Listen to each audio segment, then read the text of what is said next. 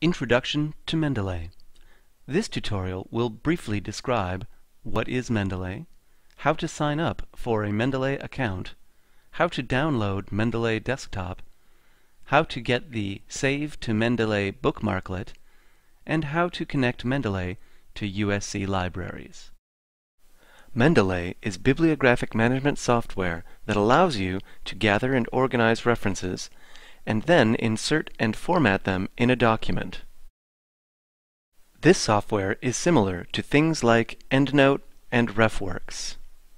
We're going to focus on the bibliographic management aspects of Mendeley and not the social sharing aspects. How to sign up for an account and download Mendeley Desktop. Go to mendeley.com. Enter your first name, last name, and email address into the boxes. Then click Sign Up and Download. Now, choose a password and select your area of interest and your status, and download Mendeley. Once you've opened your Mendeley desktop application, click Tools. Then click Install MS Word Plugin. This allows you to connect your Mendeley account with Microsoft Word. How to get the Save to Mendeley bookmarklet. Go to mendeley.com slash import. Click and drag the Save to Mendeley link to your bookmarks bar. Once installed, you'll use this bookmarklet to import citations directly from websites, including article databases.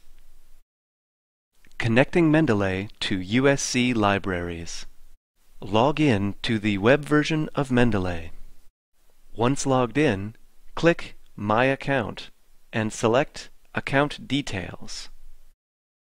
Select the Sharing Importing tab.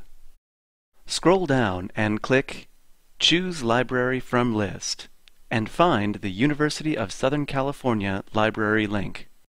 Or click Add Library manually and enter the information on this screen. Thank you for watching. Go to the Norris Medical Library's homepage for more help on this subject.